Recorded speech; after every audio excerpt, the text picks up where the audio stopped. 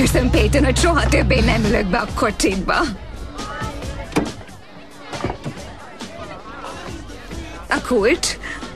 Kockáztatok. Peyton, beszélj vele. Lukasz jobb helyzetben volt, láttad, nem? Tim, mi ez a pánik? Mit keres ez itt? Meghívtam. Végül is nagy haverok vagytok. Mit forralsz? Semmit.